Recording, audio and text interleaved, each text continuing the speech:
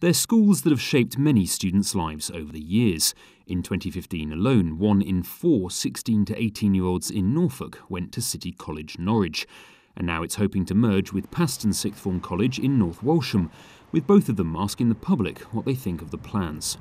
It'll see the two join forces, with bosses saying the move will expand the choice for sixth formers in our county. We did an awful lot of work on all of the background to see if it was the right thing to do.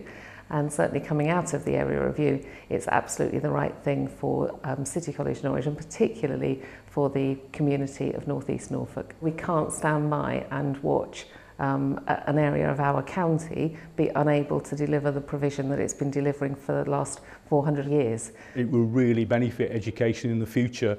I think both colleges are very aware there's sort of big strategic changes happening in education around uh, A-level reform and, and technical vocational education and with an opportunity to meet that need we, we can provide a real breadth of provision in the future. I think the key message is very much you know, business as usual for, for students at Paston and similarly for students at, at City College. The two principals want to hear from students, parents, staff and the public before the consultation finishes on July the 22nd.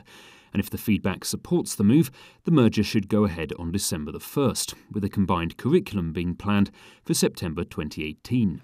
The news comes amid ongoing changes to education across Norfolk, This week, the Hewett Academy announced it's dropping all its A levels, retaining just one BTEC in sports science.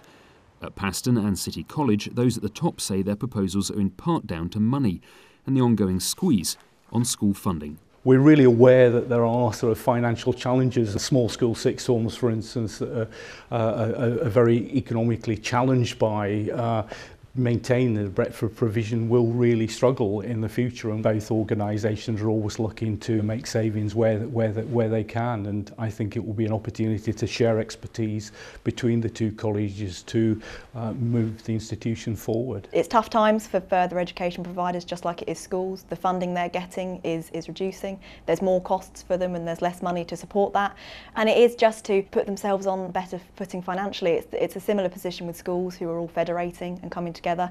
There is strength in numbers, there's strength in teamwork, and we're definitely seeing that as a trend, and I imagine that's one that we will continue to see over the coming years. Not all funding has stopped, though. In just the last few years, separate government grants have supported Paston refurbishing both a theatre and this block of science labs. The school is over 400 years old and counts Lord Nelson among its old boys. And while education's come a long way since then, bosses say this is just the latest change that they hope will lead to many more centuries of success. Mark Summers, Mustard TV, North Walsham.